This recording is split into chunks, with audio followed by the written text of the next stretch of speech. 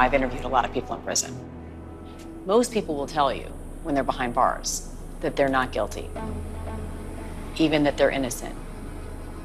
What makes you different? It's true. It's absolutely true. Innocent is no part in it, no plan in it, didn't know it was happening, didn't know it was gonna happen, and didn't want it to happen. That is me. I am 100% innocent of Michelle's murder. Who is Leo Schofield? I like to say this that I'm an ordinary man. Um, there's nothing extraordinary about me. The circumstances may be extraordinary, but I'm, I'm an idealistic dreamer. I always have been. Leo grows up in Fall River, Massachusetts. His family in the early 80s moves down to Central Florida, to Lakeland. Lakeland is located literally in between Tampa and Orlando. It's right on Interstate 4. It's the cornerstone of Polk County. If you go into Central Florida, it becomes very rural and very much like the Deep South. Leo immediately doesn't fit in. He's got the long hair, he's got that New England accent. It was very tough because I grew up in the project in Massachusetts from the age of seven, and, and I missed it as soon as we left. What had been your dream? What did you want to become? All my life, I wanted to be a rock and roll guitar player. That's all I ever wanted to do. We all like music and used to get together and jam. He, he was a good guitarist, for sure. He had a cute smile, and I think that that would probably melt some of those little teenage girls' hearts.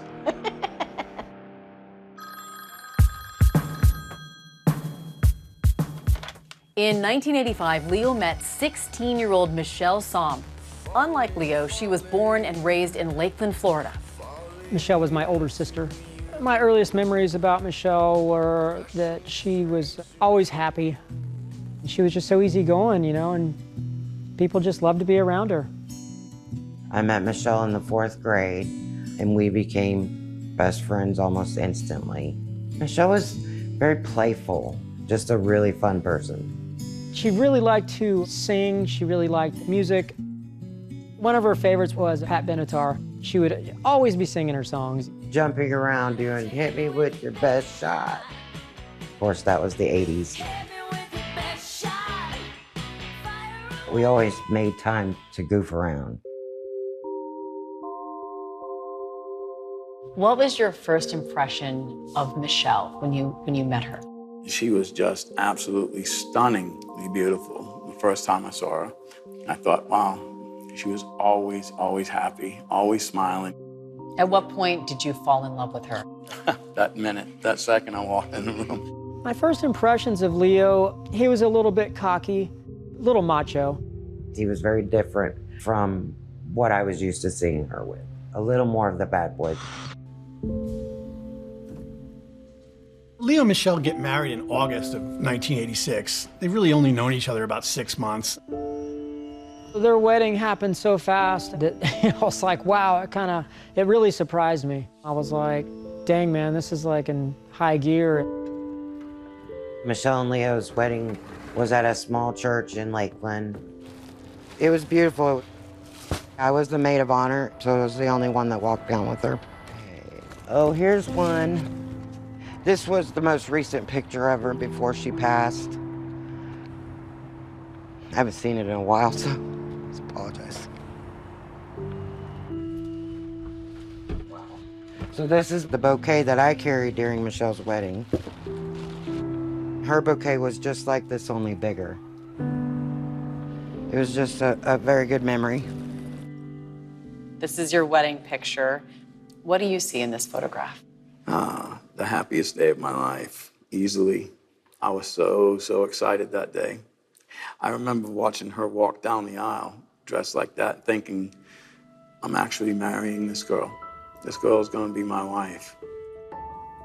I think Michelle and Leo struggled together, but they dreamed together about where they would be down the road. Leo and Michelle were living in this neighborhood called Combee Settlement. A lot of trailer parks. They were trying to make the ends meet. Leo didn't finish high school, he dropped out, and he started doing some kind of odd jobs. Michelle, like Leo, she dropped out of high school. She was a waitress. Leo was trying to be like a family man. Leo was used to driving his motorcycle around. Now he's got this Mazda station wagon. My arguments with Michelle were nine times out of 10 about the car. She didn't have a license, she had a permit, but I had to let her drive the car anyway. February 24th, 1987, the day that everything changed. Everything changed.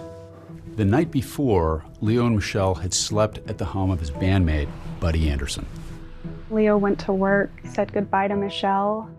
She had the Mazda that Leo and Michelle shared. She was working at a new place called Tom's Restaurant.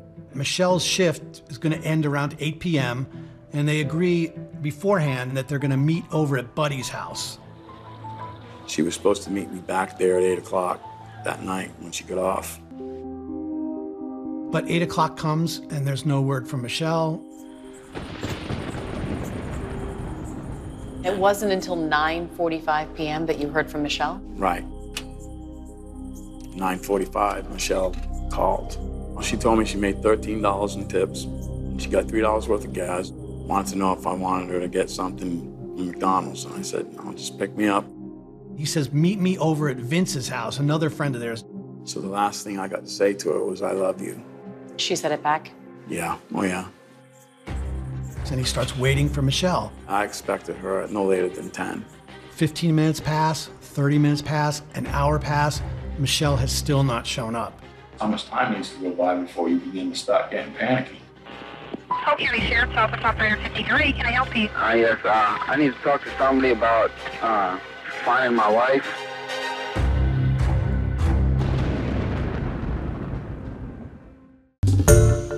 Hi everyone, George Stephanopoulos here. Thanks for checking out the ABC News YouTube channel. If you'd like to get more videos, show highlights, and watch live event coverage, click on the right over here to subscribe to our channel and don't forget to download the ABC News app for breaking news alerts. Thanks for watching.